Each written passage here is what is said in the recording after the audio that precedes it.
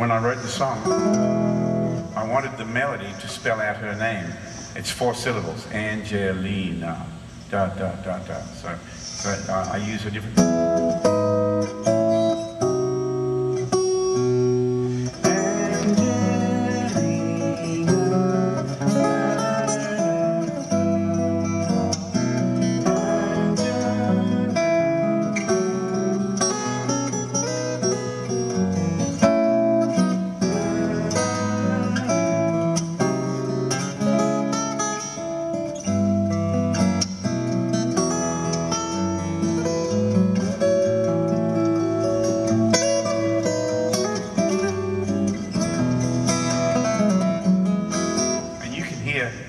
That song, you can hear the influences that- of the people I've listened to, James Taylor and Billy Joel.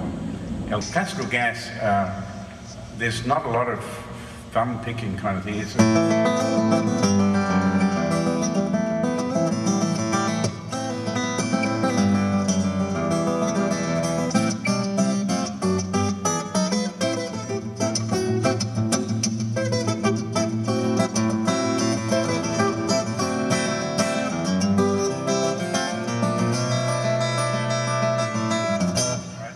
Not how the original goes, by the way. If you want to learn the original version, go to Mason Williams, the guy who wrote it, and uh, it's a lot simpler than the way I play it. But it's really, really nice. But it just doesn't work for me as a solo piece. When I play it solo, it had, there has to be more going on for me.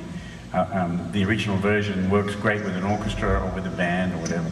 But as a solo piece, I find it pretty boring by, by two minutes in, you know. So I got to create interest in the song. So I I shovel all this coals on it and do different things to it to make it more interesting for me to play.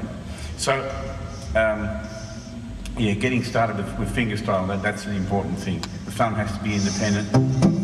Right. There's a whole section. If you can get hold of a DVD of mine called Up Close, uh, there it is.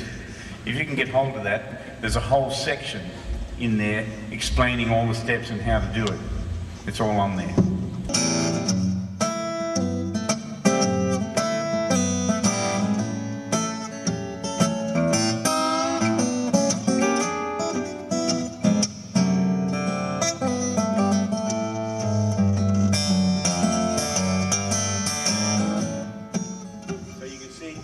A lot of dynamics in when I'm playing, so I have to have a thumb pick that really, you know, they, a lot of people use these uh, Jim Kelly thumb picks or whatever, Fred Kelly thumb picks.